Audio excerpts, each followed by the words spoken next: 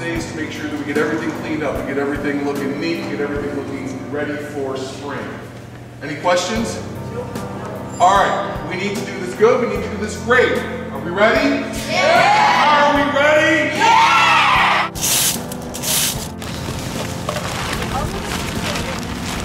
And the back of kindness, like helping someone without any pay or anything, without reward. It's very helpful to the community and, well, every everywhere needs a good cleaning for spring. Mostly helping other people or helping the community.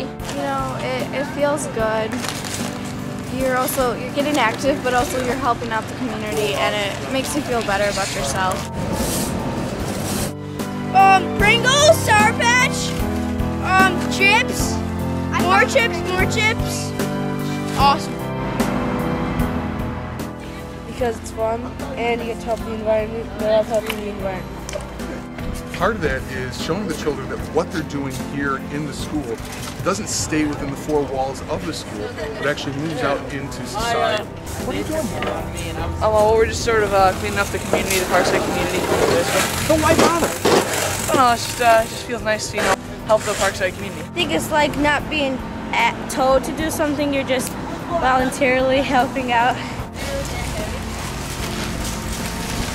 It gives you a really good feeling because you know that you're helping someone else.